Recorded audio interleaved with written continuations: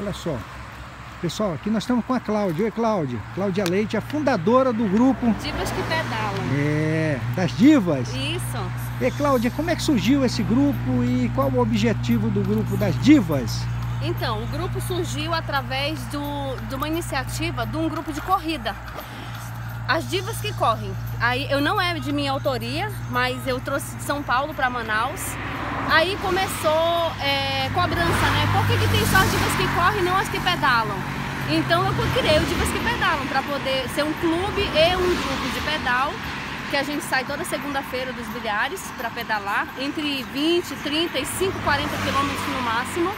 O grupo inicialmente era para ser só de mulheres, mas depois a gente abriu para todo mundo porque o que importa é, é a união, né? A gente não pode querer ser só feminino porque a gente sabe dos perigos que tem.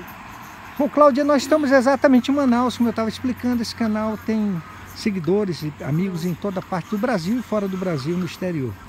E nós estamos exatamente em Manaus. Essa aqui é uma estrada Manaus urbana. Como é que é pedalar pela Amazônia, Cláudia? Maravilhoso. Eu gosto muito de pedalar para cá, principalmente por causa da natureza, que cerca a gente, fica, a gente fica bem mais perto da natureza. Eu gosto mais do que na cidade. Isso aí.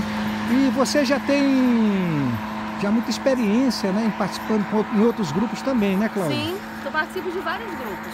A ideia é essa, é você poder participar de todos os grupos e ter amizade em todos eles. Porque E- junto a gente é mais forte, né? É isso aí, pessoal. Olha só, o nome é interessante. As divas. E é isso aí. E aqui tá nossas castanheiras, que é protegida. É isso aí, Cláudia. Você tem algum, alguma. Algum, algum recado, alguma palavra de incentivo para as Sim, mulheres? pedalar é vida. O empo- O empoderamento feminino ele se torna mais forte através da bicicleta. Quando você está numa bicicleta, você se sente mais empoderada do que em qualquer outro local. É isso aí. Bom, como eu sempre falo, Cláudia, é, quem vive na Amazônia não teme o futuro.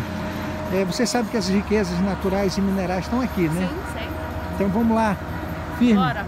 Divas que pedalam, venham todas ser uma diva.